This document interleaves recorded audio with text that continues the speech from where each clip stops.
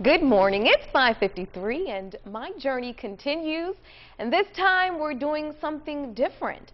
Before now, not only have I never experienced Lebanese food, to be honest, I never even had a desire to try it until now. That is right. So when uh, she told me she never tasted Lebanese food, I, I was pretty well shocked, basically. I thought we had to do something about this. We're going to take you to, well, we travel to Zina's Cafe.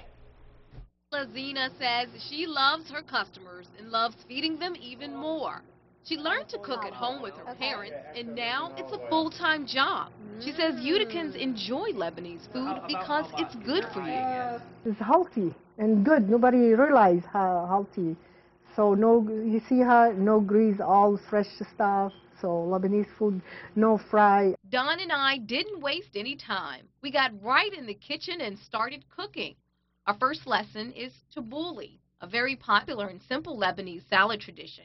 Oh, first, Oh, we cut up fresh parsley. Okay. Oh my gosh. Oh, she's making me nervous. Look, looking away. We then add fresh mint, tomatoes, salt, scallion, fresh squeezed lemon, Okay. salt and pepper, and olive oil.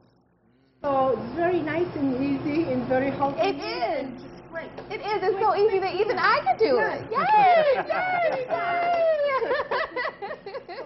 Yay! Next, we learn how to make oh, grape leaves.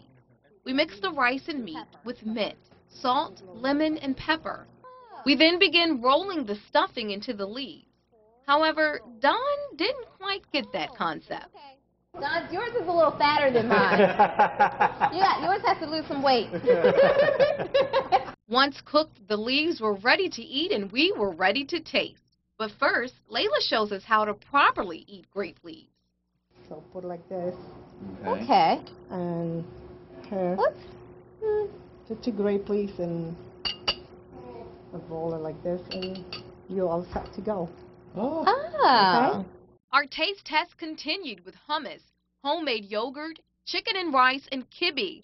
Needless to say, my first Lebanese food experience left both Don and I with full stomachs and happy attitudes.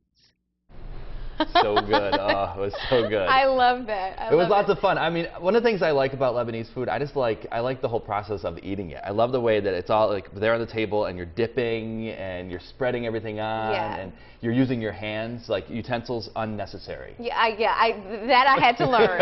but you know, I like the tabbouleh because I remember she told me, she said you can use it as an app, you can eat it as an appetizer or even a main course. So you know, and it's easy, it's quick, it takes like 10 minutes. And if you're a, a- a mom with you know kids and you're busy and you're working, I mean, that's a quick meal for your kids and it's healthy. Yeah, you know? exactly. I mean, you can see right here us trying to um, do all of this and um, ha- having lots of fun doing it. It is a good thing to do with family members, for example. Um, by the way, if you want to uh, check out Zena's, you can do so by simply going to 607 Varick Street in Utica. And they also have uh, a website, too.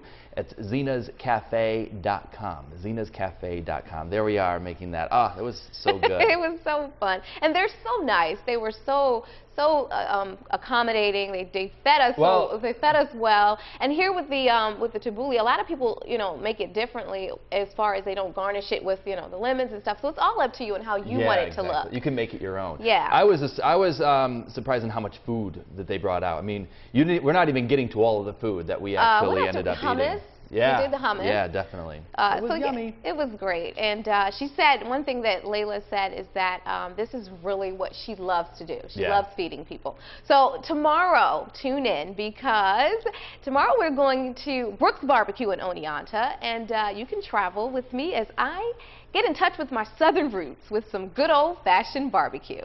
Bill.